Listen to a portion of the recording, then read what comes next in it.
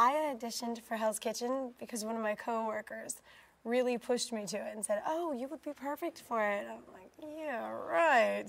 No way." But then it got into my head and it was very exciting to me, and I went went to the casting. When I found out that I was selected to be on the show, I didn't believe it. Honestly, I'm thinking, okay, well then tomorrow they're going to call me and say, "No, we went with such and such. We went with this person. You didn't really make it." So I had a hard time believing it completely.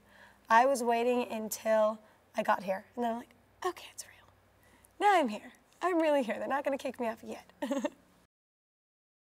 All right, I expect working with uh, Gordon Ramsay is going to be terrifying.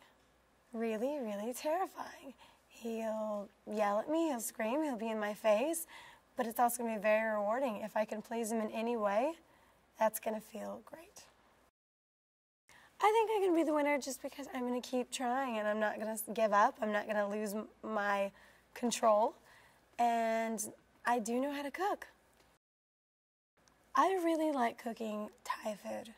I'm huge on spices, and that's my, my main thing. But all of my background, most of my background is in pastries.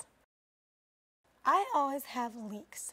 I use leeks in almost everything I cook, and a lot of cardamom and dried pomegranate seeds.